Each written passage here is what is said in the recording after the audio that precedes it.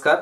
Politicians in India dot com की तरफ़ से सारे दर्शकों को नमस्कार करते हुए आज हमारे साथ फिर से अरविंद पाटिल सर हैं खानापुर विधानसभा क्षेत्र के माजी एमएलए इनसे मराठी में हम उत्तर लेंगे इनके पास। क्यों बोले तो इस क्षेत्र में सारे मराठी लोग ज़्यादा हैं इसलिए हम इनको हिंदी में सवाल करेंगे ये मराठी में उत्तर देंगे। सर नमस्कार सर। नमस्कार। सर आप इस क्षेत्र में शास एमएलए थे और फोर्टी ईयर से आपका एक सेवा है इधर। तो आप मराठी में बताइए सर क्या आप डेवलपमेंट लाए हो आप जब एमएलए थे? और आप सोशल वर्क कैसे कर लेके आए आप अब तक? नमस्कार मी अरविंद चंद्रकांत पाटील. गेली तीस चाळीस वर्ष मी खानापूर तालुक्यामध्ये एक पंचायत सदस्य म्हणून काम करत आजपर्यंत एक माजी आमदार जिल्हा बँकेचा चार वेळा सद संचालक मार्केटिंग सोसायटीचा चार वेळा माझंच पॅनल आहे. आता मी तिथं विद्यमान चेअरमन म्हणून काम करायला लागलो आहे तीन वेळा के एम एफचं डायरेक्टर मा मीच हे करतो. त्यानंतर ए पी एम सीला सुद्धा मी माझ्याच कार्यकर्त्यांना त्या ठिकाणी चेअरमन व्हाईस चेअरमन असं केलेलं आहे. त्याचबरोबर जिल्हा युनियन असेल बऱ्याच अशा सगळ्या सहकारी संस्थावरती मी त्या ठिकाणी काम करायला लागलो आणि या सहकारी क्षेत्राच्या माध्यमातून मी तालुक्यामध्ये सगळ्या लोकांना सेवा देण्याचं काम मी करत असतो. आमदार असतानासुद्धा मी बराच फंड आणून पाण्यासाठी बंधाऱ्यांसाठी फंड मी त्यावेळेला आणला रोडसाठी फंड आणला. त्यानंतर जंगली प्राण्यांच्या पासून लोकांना फॉरेस्टमध्ये जो त्रास होता त्याच्यापासून सावरण्याचं काम मी त्यावेळेला प्रामाणिकपणानं केलेलं आहे.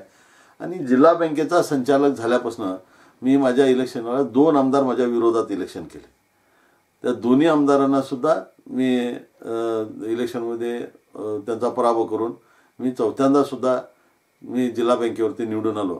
आणि या माझ्या सोळा सतरा वर्षाच्या जिल्हा बँकेच्या कार्यकाळामध्ये आमच्या तालुक्याला नऊ कोटी रु पंचवीस लाख रुपये ॲडव्हान्स होता. त्या बँक स्थापन होऊन शंभर वर्ष झाली.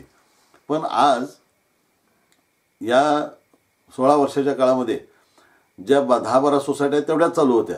त्या सगळ्या सोसायट्या तर चालू केल्या. त्याशिवाय आणि उत्तर ज्या सोसायट्या होत्या त्या सगळ्या सोसायट्या चालू केल्या. आणि ज्या ठिकाणी आवश्यकता आहे अशा ठिकाणी तेवढंच नवीन परत सोसायटी केली. आणि त्या सगळ्या सोसायट्यांचा फायदा मी आमच्या रैतांना व्हावा आमच्या शेतकऱ्यांना व्हावा. म्हणून प्रत्येक सोसायटीला तो माझा तुझा तो ह्या पक्षाचा त्या पक्षाचा ह्या जातीचा त्या जातीचा मी कधीही ते मांडलं नाही. आणि ते न मानता मी सगळ्यांना समानतेनं कर्ज देण्याचा मी प्रामाणिक प्रयत्न केला. म्हणून आजच्या घडीला आज ह्या तारखेला जवळजवळ आमच्या तालुक्यामध्ये एकशे सत्तेचाळीस कोट रुपये मी झिरो टक्क्यानं मी कर्ज पुरवठा केलेला आहे आणि प्रत्येक शेतकऱ्याला स्वावलंबी बनवण्याचा मी प्रामाणिकपणानं प्रयत्न केला त्याचबरोबर के एम एफमध्ये सुद्धा जे दूध जातं आहे त्याचा जास्तीत जास्त रेट शेतकऱ्यांना मिळावा. सरकारचं सौलभ्यता आमच्या शेतकऱ्यांना मिळावं. त्यांनी सरकारी त्यांना सुविधा मिळाव्या त्याच्यात यशस्विनी असेल ती सुद्धा त्यांना लाभ व्हावा. असं मेडिकल त्यांना अलाउन्सेस मिळावा इन्शुरन्स त्यांना मिळावा ह्या सगळ्या गोष्टीचा सारासार विचार करून मी के एम एफमध्ये सुद्धा गेली तीन वेळा माझाच मी पॅनलमध्ये माझा उमेदवार मी निवडून येण्याचा प्रयत्न क केलेला आहे आणि निवडून आलेले आहे आणि सगळ्याकडे आज या ह्याच्यामध्ये आमचे आताचे डायरेक्टर असतील मागचे डायरेक्टर असतील यांना सगळ्यांना हाताशी धरून मी एवढ्या जवळजवळ आता बहात्तर सोसायट्या आहेत के एम एफच्या आणि पंचावन्न सोसायट्या पी के पी एसच्या आहेत. या सगळ्या सोसायट्या आणि मार्केटिंग सोसायटीच्या माध्यमातून संपूर्ण तालुकाभर रेशन वाटण्याचं काम हे सुद्धा आम्ही करायला लागलो आहे आणि मार्केटिंग सोसायटीमध्ये एच पीची गॅस एजन्सी आहे. या गॅस एजन्सीमधून चाळीस हजार कनेक्शन आहेत. त्या चाळीस हजार कनेक्शनना प्रा प्रॉम्प्टपणे सेवा देण्याचं काम मी या ठिकाणी करायला लागलो आहे आणि चाळीस वर्षापासून ही सेवा माझी निरंतर चालू आहे. मी दोन हजार अठरा साली माझा पराभव झाला. म्हणून मी काय घरात बसण्याचं काम केलं नाही. तेव्हापासून म्हणजे सुरुवातीपासून जी होती अधिकार असताना सुद्धा अधिकार नसताना सुद्धा जी सतत सेवा माझी चालू आहे ती निरंतर सेवा माझा शेष शेवटचा श्वास असतोपर्यंत तोपर्यंत मी आमच्या तालुक्याच्या लोकांसाठी मी करणार आहे. आणि माझं स्वप्न आहे की आमच्या तालुक्यातील शेतकऱ्यांना त्यांच्या मेरेपर्यंत त्यांच्या शिवारापर्यंत त्यांच्या घराघरापर्यंत पाणी पोचण्याचं काम मी भविष्यात करायचं माझा मानस आहे. असं माझी महत्त्वाकांक्षा आहे. आणि त्यासाठी आजपर्यंत मला लोकांनी चांगल्या पद्धतीनं साथ दिलेत. याच्यापुढे सुद्धा देतील असा विश्वास मला या ठिकाणी आहे असं मी सांगू इच्छितो. ओके. सर बीजेपी पार्टी आपको ही क्यों टिकट देगी? दूसरों को भी दे सकती है क्यों देना चाहिए आपको? ये बताइए सर एक रीजन बताइए सर. आज भारतीय जनता पक्षामध्ये मी आहे तेव्हा भारतीय जनता पक्षाचे काही तत्व आणि सिद्धांत आहेत. त्याच्यामध्ये मलाच का द्यावं किंवा ह्या प्रश्न तो नंतरचा? मी गेली चाळीस वर्ष एक सामाजिक क्षेत्रामध्ये मी काम करतो पंचायत सदस्य म्हणून मी काम केलं तेव्हापासून ते आजपर्यंत मी कुठल्याही मी आमदारसुद्धा झालो. त्या आमदारकीच्या काळात सुद्धा मी कुठेही फ्रॉडगिरी कुठला ह्याला फसवलं त्याला फसवलं किंवा कमिशन खाल्लं असल्या गोष्टी मी कधी काय केलेल्या नाहीत. आणि हे खानापूरच्या जनतेला माहिती आहे. आणि माझी सेवा सुद्धा त्यांना माहिती आहे. मी कशा पद्धतीने करतो? मला टायमिंगचं बंधन नाही. मी रात्री किती वाजता जरी फोन केले तर मी त्या लोकांच्या सेवेसाठी तत्परपणे हजर होतो. माझा फोन कधीही स्विच ऑफ नसतोय. मी सतत राहतोय. आणि त्यातल्या त्यात आमच्या तालुक्यातल्या युवकांना त्यांना सुद्धा प्रोत्साहन देण्याचं काम मी करत असतो. त्यांना एज्युकेशनच्या बाबतीत असेल कुठे अडी अडचणीत आला तर त्यांना सहकार्य करणे त्यांना मोटिवेट करणे त्यांना कोण स्पोर्ट्समध्ये इंटरेस्ट असेल त्याला स्पोर्ट्समध्ये मोटिवेट करणे.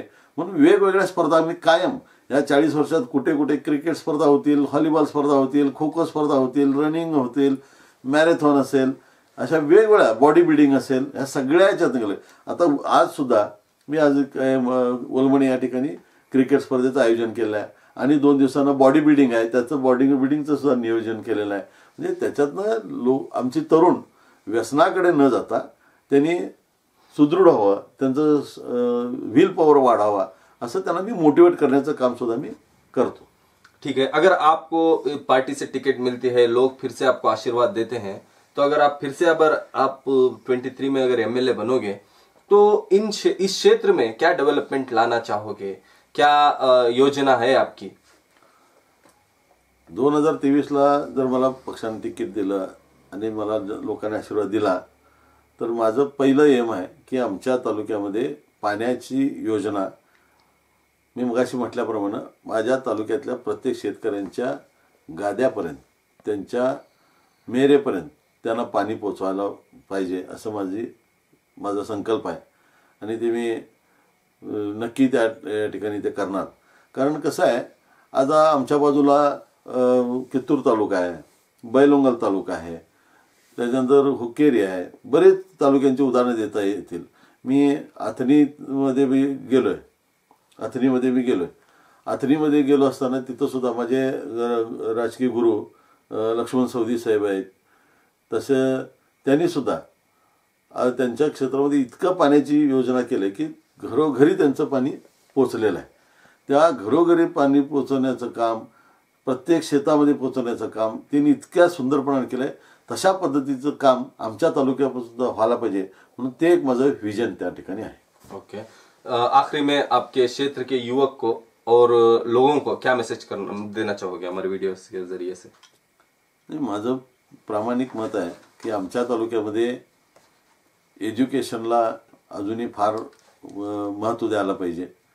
कारण आमच्यामध्ये जर कुठलाही एक मुलगा डिप्लोमा व्हायचा असेल इंजिनिअरिंगला जायचं असेल नाहीतर मेडिकलला जायचं असेल नाहीतर दुसरे आणि अदर कोर्सेस करायचे असतील तर त्यांना बेळगावला गेल्याशिवाय गत्यंतर नाही. तेव्हा इथं सुद्धा तशा पद्धतीची कुठली तरी एक योजना व्हायला पाहिजे. सरकार दरबारी माझं मत आहे की आमच्या इथं एक government hospital government medical college किंवा गव्हर्मेंट इंजिनिअरिंग कॉलेज व्हायला पाहिजे आणि त्याच्यासाठी मी प्रामाणिकपणानं प्रयत्न करेन. ठीक है सर इतनी देर तक आप अपनी बात अपने अ, लोगों के साथ शेयर किए इसलिए आपको हम धन्यवाद करते हैं सर। धन्यवाद। आपने भी सुन लिया इस क्षेत्र के खानापुर क्षेत्र के माजी एमएलए अरविंद पाटिल सर की बात। और इनकी जानकारी के लिए आप लॉगिन कीजिए www.politiciansinindia.com को। जय हिंद जय कर्नाटक।